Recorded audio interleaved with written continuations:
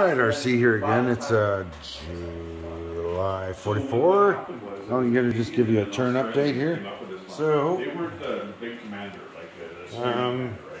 They were like two or three tiers down. all on the German turn, we like, uh, blitzed into uh, were- through Oral Kursk from uh, I think it's uh, eastern Ukraine into Oral Kursk, and then took out Moscow. We took it back, and um, uh, the British bombed the crap out of me and uh, on my rail lines in Paris, and uh, the Americans built 80 or eight jet fighters.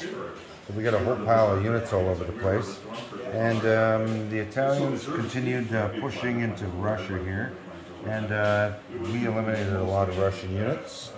Um, let's see, the uh, FEC is a monster and has not lost a lot of units. Um, Britain's been attacking and taking over Iraq. Um, the Americans have been spreading themselves all over the place, um, gathering up um, Japanese uh, territories, at least any of them that are worth any value. Which is why you see a few islands or whatever with no roundel on it. And uh, that was about it. That was the turn.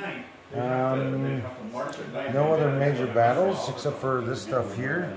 And I mean, I took a few other things, and we, the attrition is nasty, but uh, Russia took it back. So, but they did lose their ability to build units for a turn, So they, they had no which is, like, they thought you know, a good thing. And that uh, is basically the update for uh, July 44.